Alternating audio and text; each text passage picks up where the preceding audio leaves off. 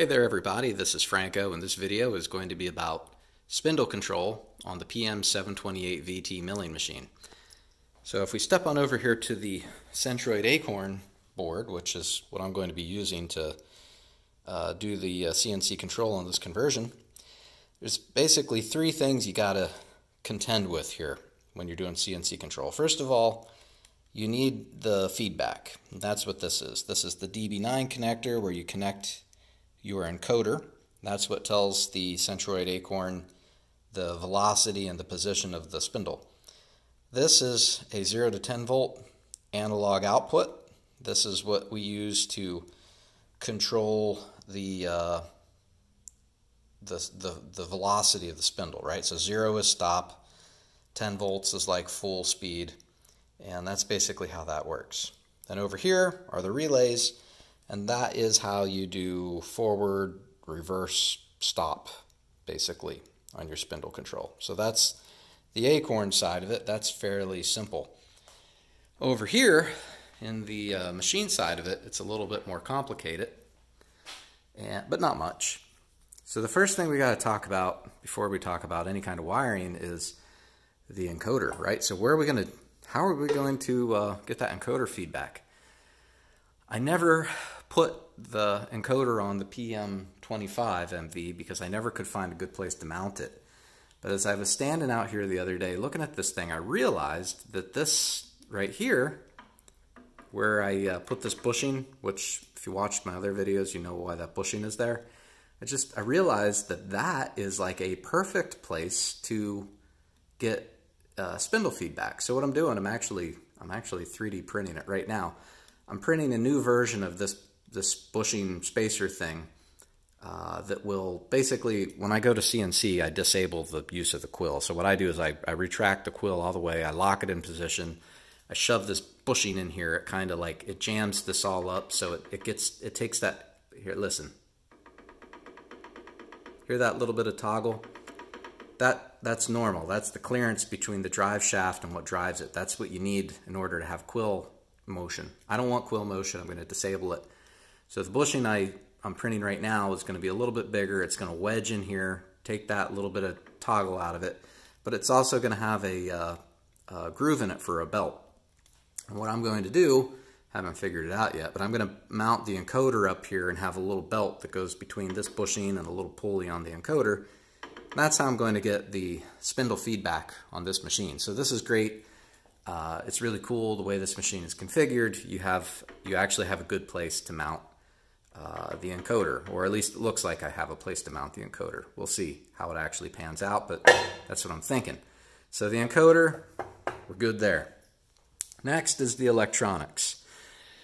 So what I've done here is I've very carefully just opened up the cover and you know the disclaimer, I have to give it, uh, electronics are very dangerous. You can kill yourself I am not an expert on anything, so um, you know, consult an electrician or whatever before you make decisions. Um, okay, there we go. We got that out of the way. Now that we all know that I'm not an expert, I'm going to tell you what I plan on doing here.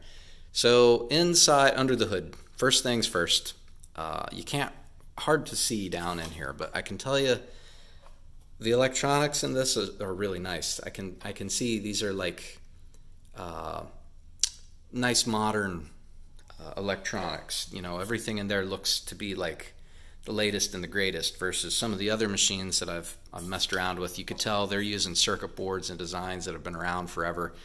This seems to be, you know, newer, better stuff. Uh, other thing I like, the forward and reverse switch here.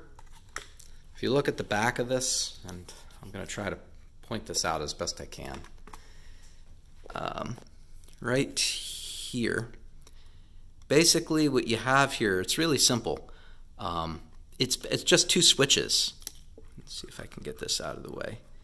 So this is really easy to kind of conceptualize. Um, on this side of it, you know, you can see it's jumpered together on this side. And then down here you have, I think it's wires number five and six. And what happens, I'm going to try to turn this and you'll see what happens that's neutral or stop and that is that's that's reverse reverse stop, forward, stop, reverse, stop, forward, stop, right? So basically what this is, is this is just two, two switches. And that is really easy to um, conceptualize when you are in the process of like converting that over to relay logic. So in another another video, I'll show you how I'm going to wire all that up. Uh, I'm going to use two relays to basically uh, replace those two switches. And there's a there's a way you can do that. There's a way you can wire those relays up so you're guaranteed it's physically impossible for you to ever have both of them turned on at the same time. And that's the same function that this mechanical switch does. So there you go. That is the uh, off and on or forward stop reverse part of the spindle. Now the final part of it is the speed control. And that's what this variable resistor or rheostat or whatever you want to call this thing does, right? So what I've done here is very carefully I've connected um, my alligator clips onto the three the three um, what would you say connections on this pot. So there's uh, they label it you know seven, eight, nine are the wires. Uh, the black is seven, the yellow is eight, and the nine is red. And I'm going to show you here what I've done. So the positive side of my multimeters on uh, the middle terminal, which would be 8. I, I, think that's called the wiper. I can't remember. And then the black, my black negative side is on number 7. So what what's going on here, I have to turn the machine on to show you this. So let me just go ahead and do this. Here again, this is very dangerous. You should not do this, but I'm going to do it. Uh, so there we go. Power's on. And we can see there's some lights and stuff in there. It's pretty cool. And I'm going to turn this on. All right, so right now there's zero volts. But this, this wire is actually carrying five volts, but we're not connected to that. So there's five volts going into the, into the into this. And then what this is going to do is it's going to vary the signal between 0 and 5 volts to control the spindle speed. So let's just show you what happens here. So as I turn this knob, right, spindle, spindle turns. Okay, so here we go. Zero volts. As I turn the spindle on, voltage starts to increase. So I'm turning the knob, voltage increases. So we're at like 1111 right now, 1.22. So let's just say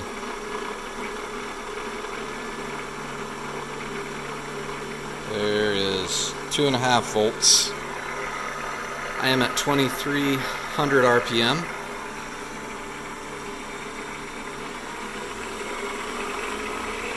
Crank it up. Almost 5 volts. I'm at 4300 RPM.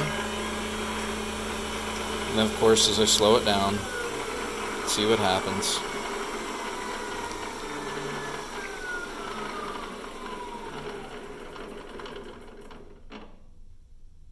Perfect. All right, there you go. So that is that's part number one of uh, what we have to do here to uh, convert this thing over to CNC. So I feel like there's a, uh, a pretty clear path forward uh, for wiring this thing up and uh, having the ability to do full CNC control for the spindle on the PM728 VT. All right, stay tuned for more of this. Thanks a lot.